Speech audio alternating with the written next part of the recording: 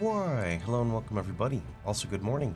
Today I want to kind of give you guys the last update to my RF Inquisitor before we hit 100, and then I'll probably make another video going on overall thoughts, but it'll probably be delayed for a little bit since we've got SSF coming in. Um, so anyway, we're going to talk about the character, the progression, I've changed a few things, and then more so we're going to talk about tattoos, and uh, I want to call them budget interactions, but unfortunately they're probably not going to be budget once the video goes live. So, you know, do your best to snipe them whenever you can. Uh, right, so let's talk about it. So one of the, the newest things I've added into the build, and for people curious about the Atlas, it's on the previous video, uh, I'm using a replica Dragon Fang. Now, replica Dragon Fang, I bought this when it was 4 Divines uh, yesterday, and it went up as high as 20 Divines, uh, so let's talk about that a little bit. Now, Replica Dragon Fang is a new uh, unique that's been added that can basically roll any plus skill. It's kind of similar to Ashes of the Stars in that sense because it rolls mana reservation efficiency. It's on a good base, which is the Onyx Amulet. Uh, and in this instance, in my opinion, it is was a good budget amulet for RF players who wanted uh, some more clear, but didn't want to craft the crazy amulet. Now, in terms of how this compares to Ashes, it's a little tricky to say. Overall, I'd say Ashes might potentially be better because it's a bit more well-rounded. You get some fire trap damage and you get some RF damage, right? Gets to scale your like uh, your shield charge, which gives you more attack speed. So overall, Ashes has it's probably better, but overall, the better amulet of the two, especially if you're going to spend like 20 divines on an amulet, would be a crafted plus one plus one Ami, which is similar to kind of like the dagger craft that we have. A lot more nitty gritty end game stuff. We don't need to spend too much time talking about it. Other than that, one of the other interactions that I have added is I went ahead and bought myself a Maven Jewel for about 70 Chaos. So the Maven Jewel that I'm referring to um, is called Impossible Escape and I grabbed it on Avatar of Fire. If I check with POB right now, uh, it says they're around 70 Chaos to 1.5 Divine, so it seems that the price is already going up on them. But it's still pretty cheap, in my opinion, for what it provides. And that's what we'll be talking about here in just a minute, once we finish up this map. Yeah, overall, I'd say I'm pretty happy. The skill tree is very similar to the original skill tree. I'd say the only thing that's different is the cluster jewel. I get a lot of questions on the cluster jewel, and they're honestly a little tricky to answer because our cluster jewels for Righteous Fire builds aren't really that strong. The main use of them is providing, for example, uh, the ability to get an extra jewel out of it. So when you're looking at Forbidden Flesh and Flame, Watcher's Eyes, Impossible Escape, that's kind of when the cluster jewels really sort of pop off. So if I go ahead and just open the tree here to talk about it, I, I think I've talked about this in the previous videos. Here has a very budget cluster jewel option. And when I say budget, I mean, I bought this large passive 12 fire for literally like, I don't know, 10 chaos and maybe spent 15 chaos in terms of alt rolling and exalt slamming to get this, which gives like good life, good ES, good chaos res, and a tiny bit of or, uh, cold res. So this is just a very budget uh, option. A more damage focused one would definitely have like increased effect plus increased damage, or you just go with the 8 passive, which is potentially better. Where you go 8 passive, get two good notables in the front, uh, and then you can branch off into another medium. I definitely prefer the double medium because you could get two flows of life, so that's really good. And then on this one here, I've got the Wrapped in Flames, Fan the Flames. This is just because I want to map faster, so I'm not affected by chill. And Fan the Flames is strictly for the explode setup that I'm doing. You'll notice that there's a bit more explosions in this setup, and that's primarily because of the Oriaths. Um, strictly for clear speed, right? So the Herald of Ash, the Explode tattoos, and the Oriath's End only for clear speed. If you want more single target, you know, swap your Herald of Ash to Skitterbot. Um, is if you can fit in Skitterbot, you can fit in Herald of Ash because the reservation Skitterbot's a little higher, so you'll notice my MP. Anyway, let's talk about this interaction we were talking about. So, what I did is um, I dropped the two points here on regen, right? So these two life regen nodes are dropped, so that's 1.2% gone. With those two nodes, I came up here and went into ele damage. I then uh, don't remember exactly what I dropped. You can kind of look at the tree here, right? Um, then I went into the impossible escape and that allowed me to grab, I think I maybe dropped like a baby node here and maybe like a life node. Um, that allowed me to grab Arsonist which is really good because you make that regen back that you lost, literally, but then you also get fire multi. This is an optional point. It's just really good because it's like 0.4% life regen, right? Um, with some fire damage. And then what's really nice about this interaction is you can actually now grab an intelligence uh, gem area without having to spend extra points. So normally we would have to say, well, really the best int one for us would be here, but I don't go over here in the melding of the flesh setup. So this allowed us to secure essentially a plus one int. Now, if you don't want to do this, you absolutely do not have to do this, right? Um, you could just like take the fire trap one, or in the melding of the flesh setup, you could just take the max cold res frenzy charge. That's also not too bad. Um, my max res is still the same at 87. I could very easily boost it. I just have to spend some currency. I can elevate the plus one max cold res to two, and that immediately gets me 88. I could elevate the max cold res here, and then that would be 89, and then switching that to two would be 90. There might be a couple of other ways, but I mean, the character's not really dying. It's very tanky, right? So I figure I'm just going to play it out and kind of just hit level 100. Um, here is the dagger we crafted. This is the endgame dagger. A lot of people ask, why do you craft an endgame dagger over, say, a scepter? Um, to explain this simply, daggers cannot naturally roll fire damage. So that percent fire damage there, because it cannot naturally roll, you can guarantee the plus one fire. So with this deterministic method of crafting, there is a slight chance of failure, but when you are going to spend uh, kind of like a large amount of currency on a weapon, maybe in the like 10 to 20 divine range, the dagger would be the optimal choice, and you can figure out how to craft this on my Wikipedia.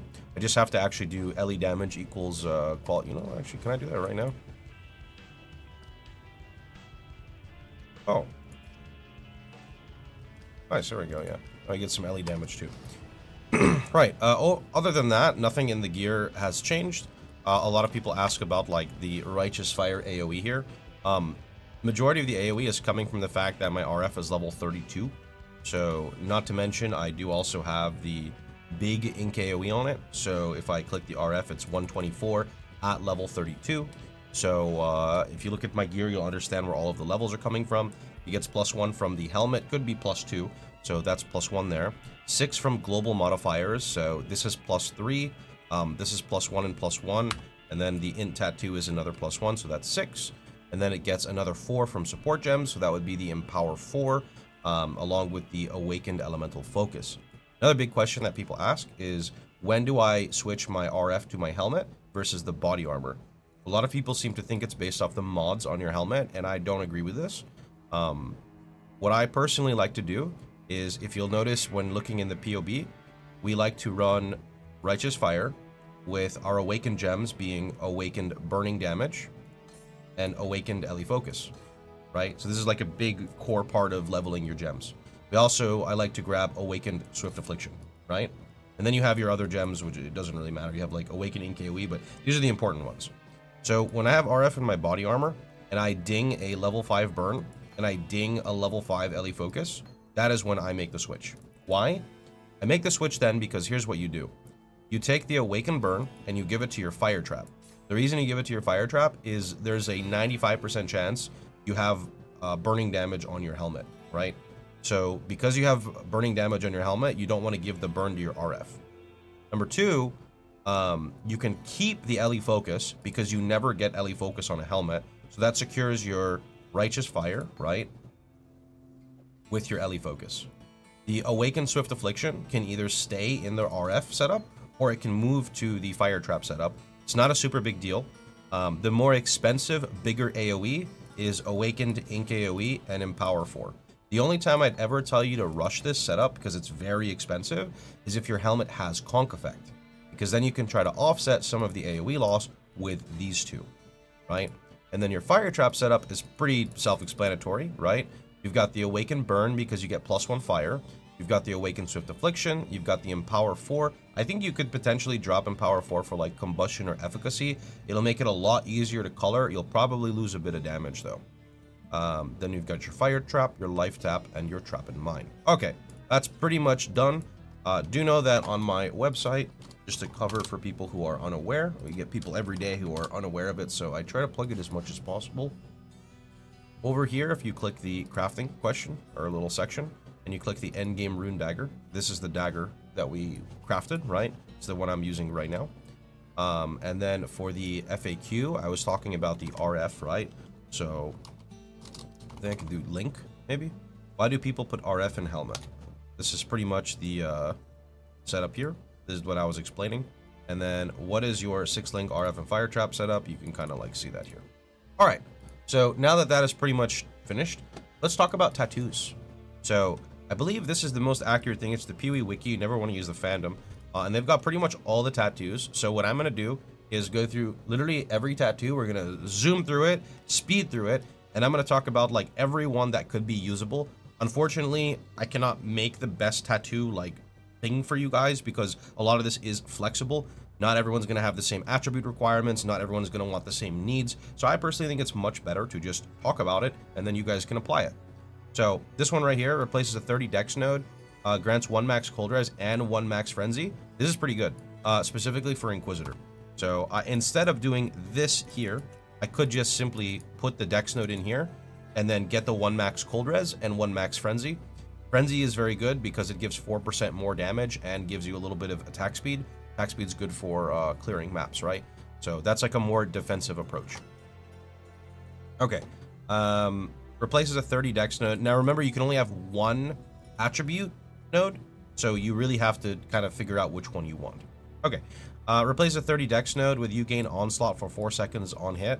That's actually like pretty cool, but it does take up the notable. Um, but pretty cool.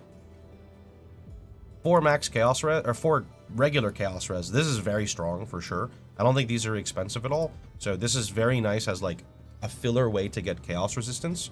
Very good. 1% uh, increased effective non-curse auras. The only time I would ever use this is for the uh, Aegis Aurora Melding of the Flesh version that I'm playing now. You get breakpoints on your purity. So if you look at my defenses here, if I were to say remove this 6% aura effect, actually go down one max res. So the only time I would ever use this is to try to hit max res breakpoints on the Melding of the Flesh setup. Replaces 30 int with Gain Arcane Surge. This is not really important for us. Uh, mana reservation efficiency. Mana reservation efficiency can also be very good for just like a couple of them. If you need a little bit of reservation because say maybe on your body armor you rolled 7% instead of 8 and because of that 7% maybe you have like 13 mana instead of 14 that's needed for like Infernal Cry, right? In a situation like that, getting like a simple mana reservation efficiency can help. Uh, 30 dex node plus 1 dex. This is the fire trap single target alternative.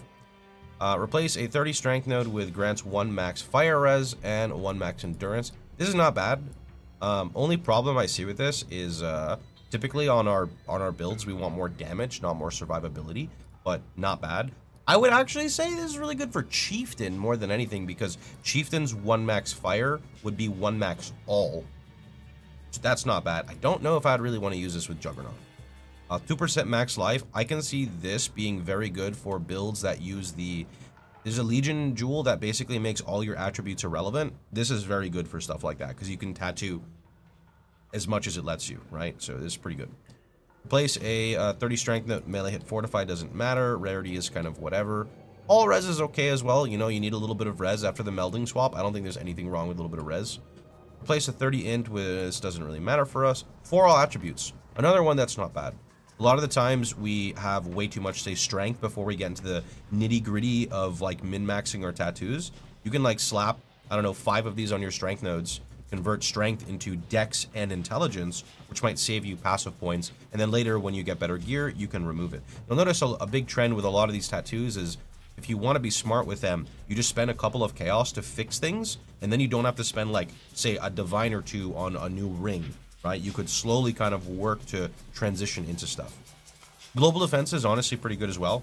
That's 3% uh, armor and 3% energy shield. I don't know how much I care about it though. So definitely interesting. More for the Inquisitor variant, I would say. Strength, I don't think matters too much. And uh, plus one int, this is the one I'm currently using. Okay, next up. Um, one of these actually is pretty good. I'm going to try to remember. I put it in the POB, I believe. Give me one second to pull up one little thing of text. Let's see here. Do I have it any? Oh, yes, I do.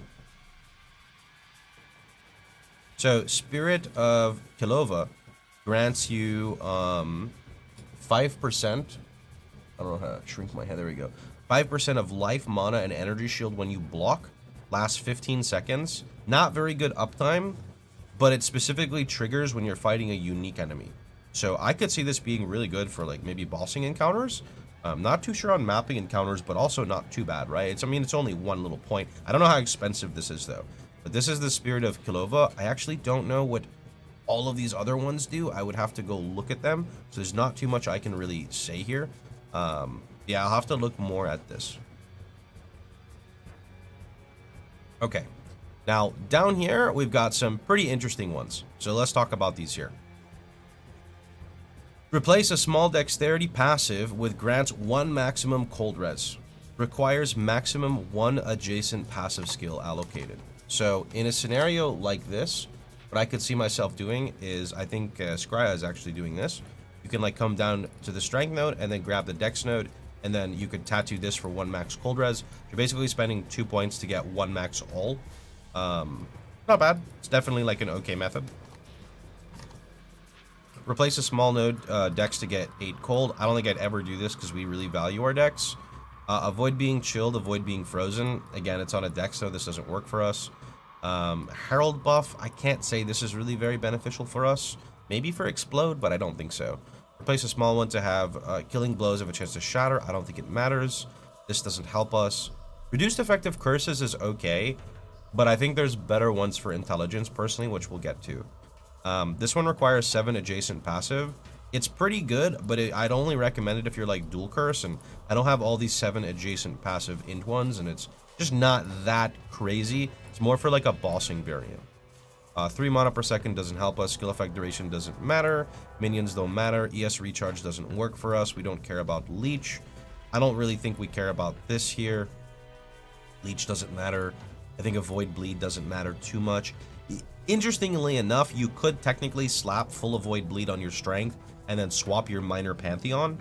That is an option. I don't know if it's really worth it, but that's an option. Increase life reservation efficiency of skills. You could see if this is worth it on Arrogance Vitality. You'd have to see maybe that's equivalent to like, I don't know, like a third of a life node. Uh, daisy. But I, I'm not really too sure on this one. This would only be used in the Jug variant. Uh, physical doesn't matter. Fire res is okay. It's it's okay, nothing crazy. Um, yeah, there's not really much to say about it here. Um, this here, one max fire res, I can see this also being good in the chieftain variant. Also, again, jug variants, if you want to grab like the chieftain melding thing, maybe it's pretty good. The only thing is it requires maximum one adjacent passive skill. This is again like kind of one of the tricky ones. So what I could see people do is people who are doing maybe the like divine flesh variant I don't remember if Divine Flesh corrupts here. It might or may not. You could come down here, one to grab Arsonist, and that's technically a one adjacent. I think that's how that works, right? Um, I could totally be wrong, and maybe it needs to, like, literally... No, I, I think it's just one connected. As long as it's just one connected, I think it works. Requires maximum one adjacent passive skill allocated. So, yeah. Another one is uh, down here for Juggernauts, right? We would stop right here to grab Champion of the Cause and stuff so depending on the way you path out, this might work. And there could be a couple of others, but I don't think it's the most important to really talk about, right? Um, also depends on the actual price of this. Uh, reduced ignite duration, I don't think matters. Explode. Uh, big fan of Explode. Uh, pretty much every single strength node on my current Inquisitor is Explode, but this is primarily for just clear speed. You don't really care about the clear speed, you don't really need the Explode. I, I think it's amazing, right? I mean, I have Explode like one, two, three, four, five, six, seven, eight, nine, and I'd like to do this one ten. I just have to see if I have enough strength. Um, flat fire doesn't matter. Totem life doesn't matter. Accuracy doesn't matter. I was really excited when this one first came out, but there's no way this is going to matter because we don't have enough dex. Multi-proj doesn't matter. Evasion doesn't matter. Suppression, not really.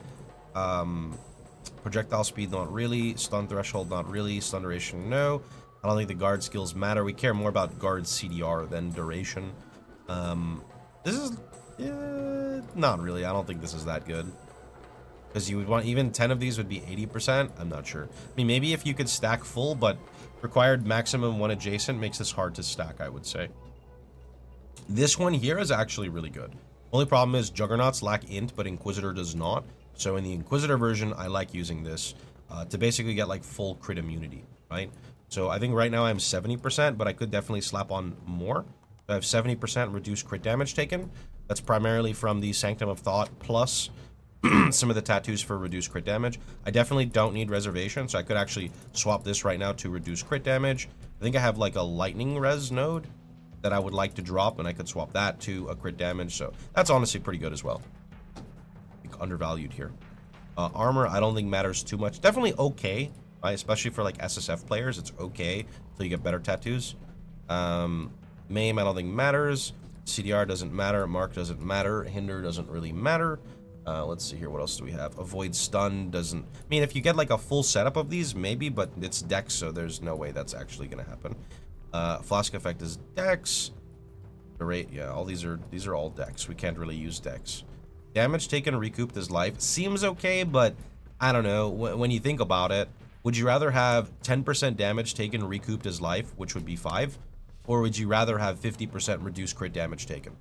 I would absolutely want crit damage taken. Uh, knockback doesn't matter. Chaos doesn't matter. This one is pretty interesting. Requires 7 ad adjacent passives for the increased life regen. The only thing with this is it's tricky because this tattoo of the Tukohama wants 7 adjacent passives. And there's only so many places for 7. So I think uh, 1, 2, 3, 4, 5, 6, 7. This is an area but you'd have to sacrifice one, two, three, four points. And this is okay because it gives some fire trap damage. These don't do anything. Um, down over here, one, two, three, four, five, six, seven. This one's also okay. These are more for the juggernauts, right? You'd be dropping a point on this and this, which are useless, but Call to Arms is nice quality of life. You're naturally getting the life node, and Warcry buff effect would scale your Infernal Cry, so it's all right. There's also one right here, so that's like one, two, three, four, five, six, seven. You can go do a three-point jewel, a useless node, and a useless node. Um, these are good, and you might path up here. Here's another one. One, two, three, four, five, six, seven. Is that eight? One, two, three, four, five, six, seven. Okay. Uh, this is good. these are both good. This is kind of useless. Uh, this is kind of useless, and uh, you might path that way, that way, etc. I think the last one is like right here. There, there might be a couple as well. I'm, you know, trying to go over as fast as I can. One, two, three, four, five, six, seven. This is not bad. Again, you might be pathing downward. You might path towards here to grab like Master of Arena. You've got the two-point jewel. This gives you defense on your shield. Maybe you're pathing to the Dex node for the max res anyway, and you got Unwavering. This seems like one of the better ones for sure. Uh, regenerate life is not bad at all. I actually really like this on the Inquisitor version. If you ever feel like you're lacking sustain or Juggernaut, you could just slap on some of your strength nodes into life regen until your gear gets better. Warcry cooldown recovery, also not too bad. I know a lot of people like spamming Infernal Cry. I don't really care for it because there's a map mod that screws over your cooldowns anyway, so I don't like having to pay attention to more map mods. Melee Strike doesn't matter, Fortify doesn't matter, One Max Lightning, not too big of a deal. Reduce Effective Shock, also pretty big. Um, I would see this being very much used in like the Juggernaut or the Chieftain version because Inquisitor Tempest Shield feeds into your block cap, which is really good. But those versions like Jug and Chieftain don't really need that. So you think to yourself, you know, I could take a 30 int node, which is the same as 45% reduced effective shock. Right? That's kind of cool to think about. I really like this. Um, spell block doesn't matter. Um, block attack, whatever. Lightning res is okay. And yeah, so that's pretty much about it. Sorry if the video was a bit hefty. Uh, did my best to try to explain, you know, everything I could. So, see you guys later. Hope you guys enjoyed the video. If you did, feel free to like, share, and subscribe. And don't forget, I do believe on Monday we're going to be starting as SSF Righteous Fire Chieftain. I did want to play another character in this league, especially because we've made like so much currency accidentally. But I, am just kind of losing a little bit of motivation. So I'm going to do my best after about maybe a month of SSF. Maybe we'll come back to Trade League and mess around for like a week or two and then go back to SSF again. Anyway, pretty much about it. Hope you guys enjoyed the video. If you did, we already, well, yeah, we already pretty much said that. So see you guys all later. Thanks so much for watching. And uh, don't forget, you can catch me streaming live every day at twitch.tv slash Pohx, except for Sundays. So see you guys all on Monday. Take care, everybody.